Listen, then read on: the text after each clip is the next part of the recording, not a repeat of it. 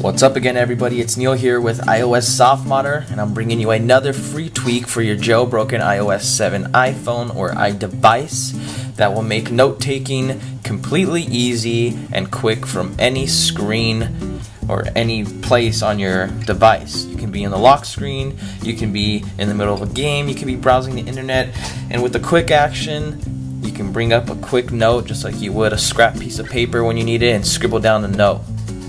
Alright, so, as I mentioned, you need to be jailbroken, and you also need to have the activator tweak installed. Activator, if you don't know what it is, basically lets you apply gestures to your device that are like tapping the uh, status bar. You can up, you can change the gesture to uh, open up your camera app, or you could shake your device and take a screenshot. It basically lets you uh, take control of the gestures and commands on uh, your device. You can also manipulate the uh, actual buttons and home keys.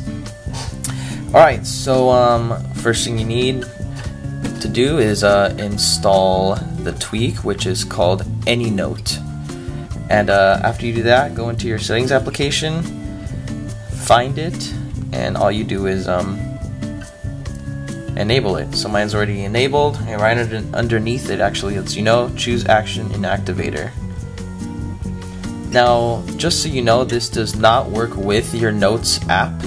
So if you take a note using this method, it will not save it to the uh, stock Notes app. It will not even, it will just save one note. You cannot have one, more than one note. It basically is a digital scrap piece of paper, but we'll show you it later.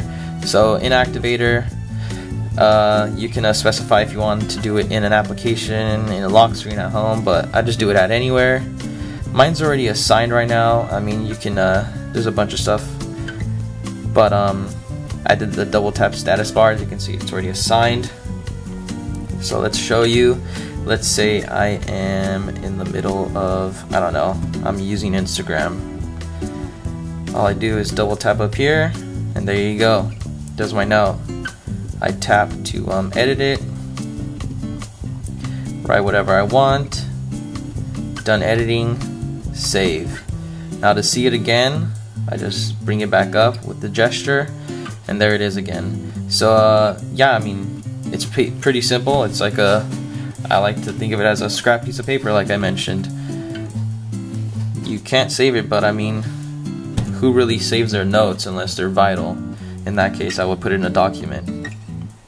Um, it's quick, it's easy, it's free, and it's extremely convenient. I suggest uh, checking out the full article on iOS Softmodder. Like, subscribe, and thanks for watching.